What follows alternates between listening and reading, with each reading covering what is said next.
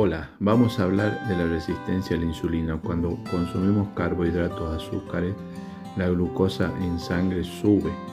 Al estar eh, la glucosa alta en la sangre, el cuerpo segrega insulina para que pueda entrar eh, la glucosa a la célula.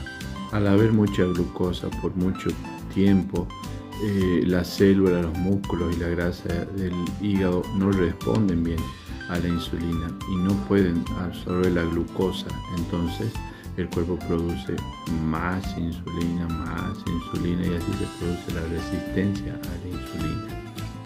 Con el tiempo eh, se produce también la diabetes tipo 2, que es por el azúcar alto de tanto consumir carbohidratos y azúcares.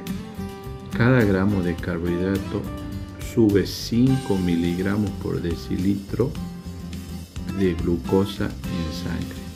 En 20 gramos de carbohidratos que comamos subiría 100 miligramos por decilitro de glucosa en la sangre. Una glucosa normal en sangre es de 110 miligramos por decilitro. Pasando los 130 miligramos por decilitro ya es diabetes. O sea, lo normal es menos de 110 de glucosa en sangre. Es muy importante hacer una dieta baja en carbohidratos. Bajar los, carbohidratos lo que más se pueda. Después hacer eh, mucha gimnasia, eh, por lo menos 30 minutos todos los días de caminar de pesas. Las pesas ayudan a que el músculo absorba mejor la glucosa. Y bueno, por supuesto, eh, bajar de peso ayuda mucho a que bajen todos los valores. Y también tendrían que agregar el ayuno intermitente, que después voy a hablar del ayuno 16-8-24. El ayuno intermitente mejora mucho en la resistencia a la insulina. En el caso mío, por más de 17 años, tuve eh, los valores de insulina alta. Si bien la glucosa se mantenía en menos de 110, tenía la insulina siempre muy alta, el colesterol, triglicéridos y ácido úrico.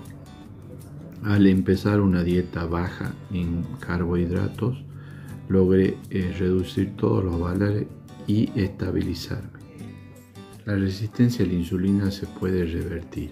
Tenemos que tomar la decisión de bajar los carbohidratos, hacer gimnasia, hacer un ayuno intermitente e ir bajando de peso lentamente, no esperemos eh, bajar eh, rápidamente todos los kilos.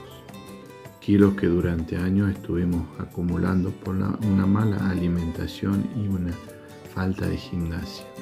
Entonces vamos a bajar los carbohidratos, a hacer gimnasia, a bajar de peso y probemos el ayuno intermitente, veamos qué ayuno intermitente nos queda mejor para nuestro estilo de vida y vamos probando cómo nos vamos sintiendo haciendo el ayuno.